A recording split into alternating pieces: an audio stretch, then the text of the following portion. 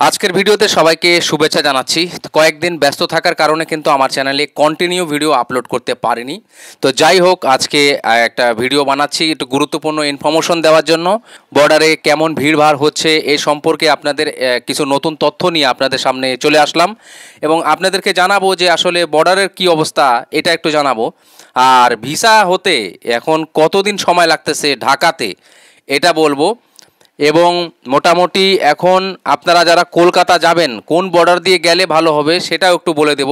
কারণ এখন পূজার সময় ফেস্টিভ্যাল টাইম চলতেছে, আজকে কিন্তু পূজার দশমী আজকে হলো দুর্গা পূজার দশমী মানে আজকে শেষ সম্ভবত।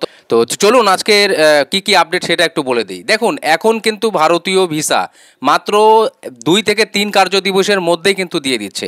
ঢাকাতে এবং রাজশাহীতে তো আমি এর আগে একটা ভিডিও বানিয়েছিলাম, যেখানে আমি বলেছিলাম যে রাজশাহীতে কিন্তু মাত্র একটা দিনেই ভিসা দিয়ে দিচ্ছে। এখন একটা দিন বলতে মানুষ যেটা বুঝতে পারতেছে মানে কীভাবে তারা একদিনে ভিসা দিচ্ছে, সেটা কিন্তু আমি ওই ভিডিওতে বুঝিয়ে দিয়েছিলাম। আমি যদি এই ভিডিওতে একটু বলি এই বিষয়ে, যে আপনার পাসপোর্টটা হাই কমিশনে পৌঁছানোর পরে থেকে একদিনে ইস্যু হচ্ছে।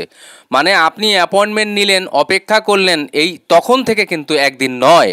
যখন আপনি ইন্ডিয়ান ভিসা সেন্টারে জমা দিলেন, জমার পরে যখন ভিসা সেন্টার থেকে হাই কমিশনে পাসপোর্টটি পৌঁছাবে, সেই পৌঁছানো থেকে একদিন পরে কিন্তু ভিসা ইস্যু হচ্ছে রাজশাহীতে।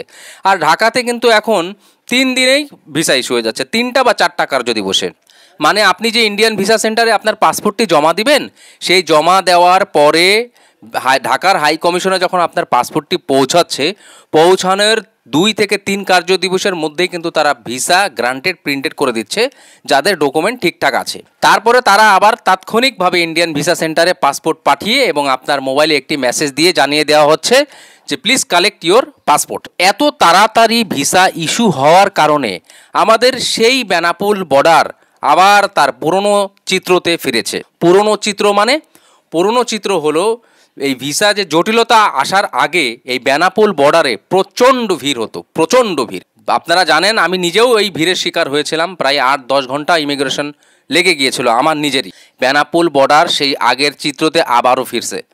স্পেশালি এখন ফেস্টিভ্যাল, দুর্গাপূজা চলতেছে, যার কারণে বেনাপোল বর্ডারে কিন্তু এখন প্রচণ্ড ভিড়। এখন এটা দুর্গাপূজার জন্য না আসলে ভিসা এত ইস্যু হচ্ছে এর জন্য? দুটাই। আর ফাইনালি আমরা কিন্তু তিন ডিসেম্বরে ইনশাল্লাহ কাশ্মীর যাচ্ছি। আমাদের একুশ দিনের যে আমি যে টার্গেটটা নিয়েছিলাম, সেটা কিন্তু কমপ্লিট হয়ে গেছে। প্রায় সাত আট দিন আগেই কমপ্লিট হয়ে গেছে। তারপরও যদি কেউ যেতে চান, তাহলে আরও সাতজন হওয়া লাগবে। অর্থাৎ একুশের পরে আঠাইশ জন। কেন আঠাইশ জন? আমরা যদি জাম্মু তাবাই থেকে শ্রীনগর যাই, তাহলে দুইটা টেম্পু ট্রাভেলার চোদ্দ সিটের গাড়ি নিলে চোদ্দ চোদ্দ, আঠাইশ জনে আমরা যেতে পারব। আর ওইদিকে যে ট্যাক্সিগুলি আছে, সেই ট্যাক্সিগুলি আট সিটারের তো মোটামুটি আঠাইশ জন হলে চারটা গাড়ি চার সাতা আঠাইশ সাতজন করে বসলে কিন্তু আমরা চারটা গাড়ি করে ঘুরতে পারব। এরপরে যারা যেতে চান অবশ্যই সাতজন হওয়া লাগবে। যদি কেউ মেসেজ করতে চান কাশ্মীর যাওয়ার জন্য ডিসেম্বর তিন তারিখে। এখনও থার্ড এসিতে কিছু সিট অ্যাভেলেবেল আছে বাট স্লিপার ক্লাসে কোনো অ্যাভেলেবেল নাই। তো আপনারা যদি যেতে চান তাহলে যোগাযোগ করবেন। আমি আপনাদের প্রথমে হোল্ড করে রাখব। যদি সাতজন হয় তাহলে আপনাদের টিকিটটা কনফার্ম করব।